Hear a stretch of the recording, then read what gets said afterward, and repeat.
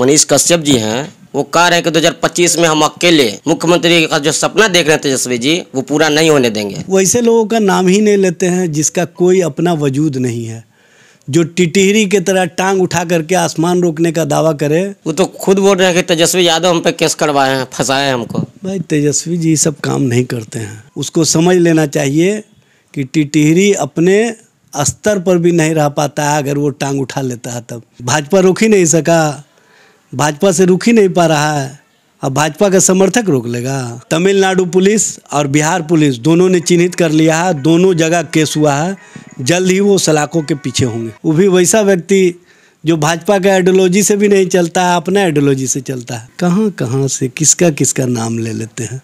अपने आप को भी स्थापित करने के लिए किस किस तरह का खेल खेलता है किस किस तरह का ड्रामा रचता है किस किस तरह का फेक न्यूज़ बनाता है। जितने बिहार से नेता गए थे, जितने लोग गए थे, चिराग जी भी गए थे, बहुत टांग उठा करके कि कुछ ले करके हम आएँगे। और वहाँ उल्टे पाँव उनके लिए महँगा पड़ गया सौदा। तमिलनाडु के लोगों ने कहा, बिहार और तमिल भाई भाई, तुम कहाँ से आई? कि भारतीय जनता पार्टी के नेता सदन में कहे थे कि ये बात अगर झूठ साबित होगा तो मैं क्षमा मांगूँगा। क्षमा मांगने के लिए तैयार रहें।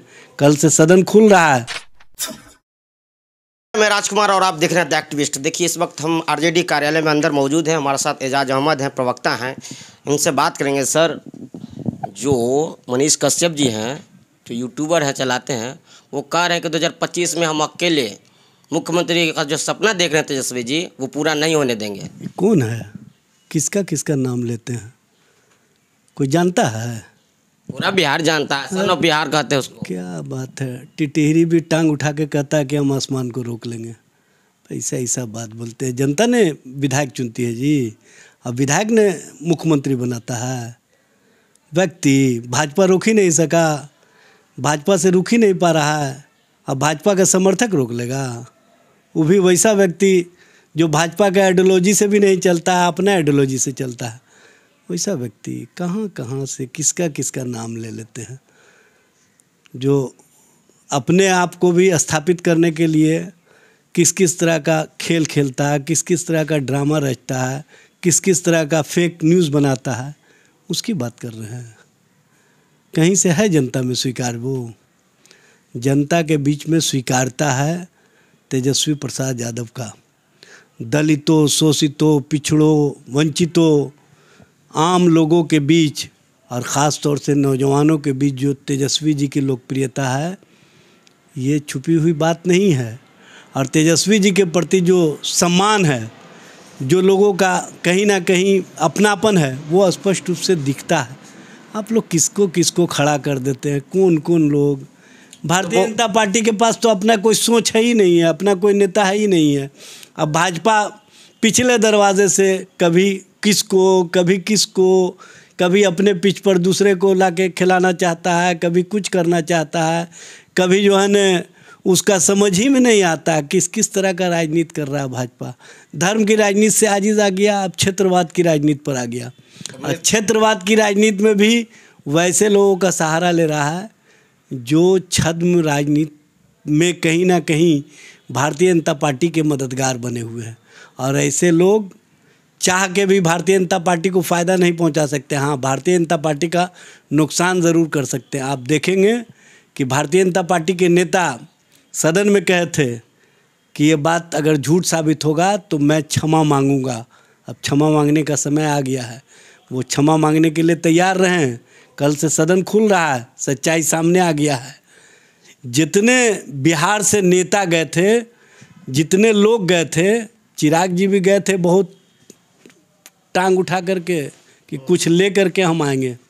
और वहाँ उल्टे पाँव उनके लिए महँगा पड़ गया सौदा। लोगों ने कहा तमिलनाडु के लोगों ने कि बिहार और तमिल भाई भाई तुम कहाँ से आई?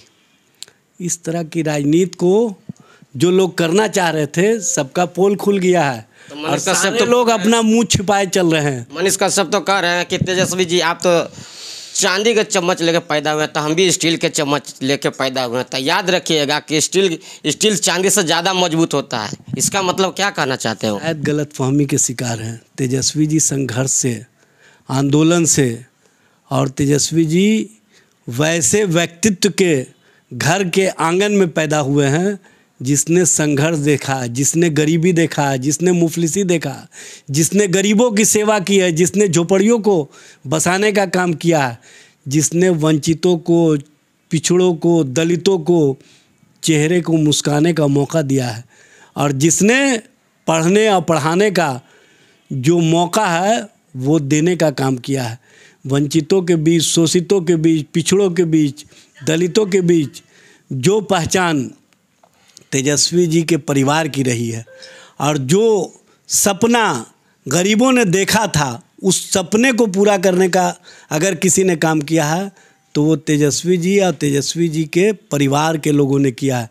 इसलिए गलतफहमी के शिकार ना बने। कश्यप तो दावा ठोक रहे हैं कि हम आपको 2025 में नहीं बनने देंगे मुख्यमंत्री। बोला तो कि वो जिसके लिए छद्म रूप से काम कर रहे हैं वो तो कुछ कर ही नहीं पाए।